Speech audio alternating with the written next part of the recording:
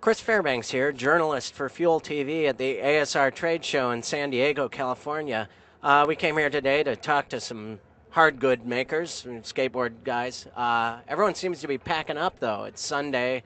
I can't find anyone, and uh, I don't know what else to. Um, we could. Uh, I, I. There's a lot of swimsuit models around. Maybe we could talk to them about uh, swimwear innovations for 2008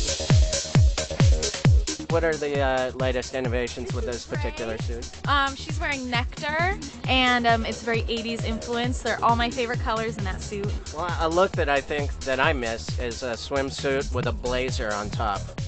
Shoulder pad? Yeah, shoulder padded bla- blazer. Next season, 2009. You're representing, is it Hula La? It's Hula La. Hula La La. Something that's a little deceiving about this suit is the tie up front functional. It is. It pushes up, maybe causes cleavage to occur. It does cause cleavage to occur.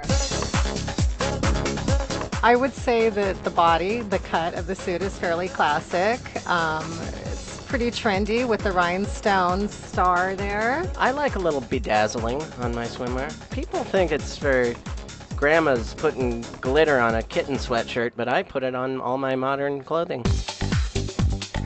Uh, a lot of surprises this year, and I thought the swimwear for women would uh, get more modern, but it's uh, harkened back to more classic looks like the strapless bikini halter and the uh, cleavage ripple tip. And uh, a lot of people don't realize that the gazelle danglers were going to be big this year with the seersucker and the 80-20 nylon polytwill because uh, I know for me that the, the shrinking that has occurred back in 06 uh, was an indicator that I don't know what I'm talking about, but it was fun to look at those girls. Chris Fairbanks, journalist.